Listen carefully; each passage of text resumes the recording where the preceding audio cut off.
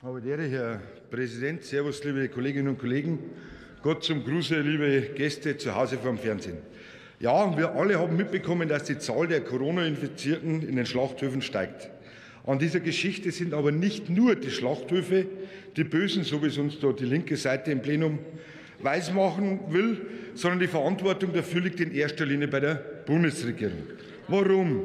Wir erinnern uns, am 27. März fordert die Bundeslandwirtschaftsministerin in einem Schreiben an den Kanzleramtschef, dass die Gesundheitsämter in Betrieben der Lebensmittelverarbeitung andere Hygiene- und Quarantäneregeln anwenden sollen.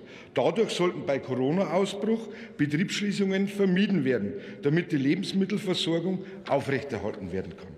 Sich jetzt darüber zu wundern, dass die Schlachthöfe sich an diese Vorgabe gehalten haben, das ist einfach nur scheinheilig, liebe Grünen.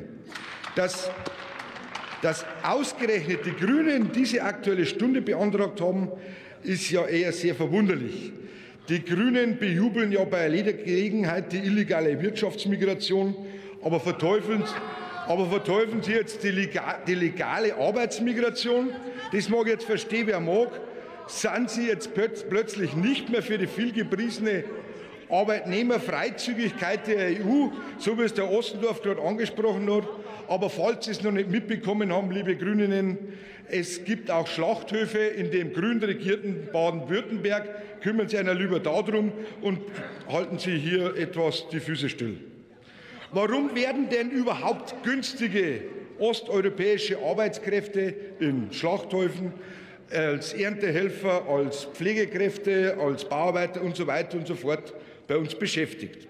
Glauben Sie mir, ich darf mir wünschen, wenn es nicht so sein müsste.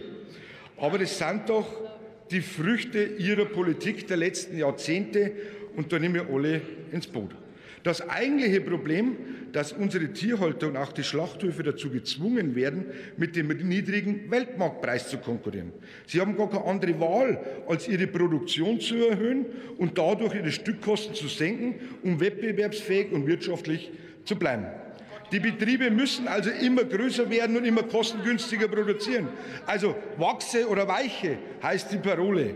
Verstärkt wird dieser Konzentrationsprozess durch immer neue Freihandelsabkommen für Lebensmittel, Billigimporte, wie beispielsweise das Mercosur-Abkommen.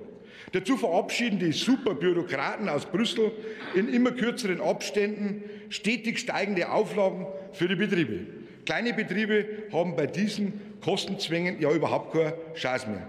Sie, meine Damen und Herren der Altparteien, sind verantwortlich für diese Fehlentwicklung. Und wenn Sie jetzt wieder mit neuen Verboten und Auflagen gegensteuern wollen, dann werden Sie damit nur erreichen, dass die Tierhaltung, die Schlachtung und die Arbeitnehmer ins Ausland abwandern. Dort gelten deutlich niedrige Standards für Arbeitnehmer und bei Umwelt und Tierschutz als hier bei uns im Land. Eine höhere Importabhängigkeit kann nicht der richtige Weg sein, vor allem in Zeiten von Corona. Wir von der Alternative für Deutschland stehen fest hinter dem deutschen Mittelstand. Wir wollen den bäuerlichen Familienbetrieben und Schlachtereien eine wirtschaftliche Perspektive bieten und werden die dafür nötigen Rahmenbedingungen setzen. Wenn wir eins aus der Lockdown-Krise, die Sie verursacht haben, gelernt haben, dann ist es, die, dass die Regionalität wichtiger ist denn je. Deshalb haben wir bereits letztes Jahr gefordert, dass regionale Landwirtschaft und Direktvermarktung zu stärken. Diesen Antrag haben wir aber leider alle Blockparteien hier im Haus abgelehnt. Darin fordern wir unter anderem auch die Förderung der mobilen Schlachtung zum Beispiel. Außerdem haben wir den Abbau von strengeren Zulassungsvorschriften und von hohen Bürokratieaufwand für kleinere Schlachtereien und so weiter gefordert.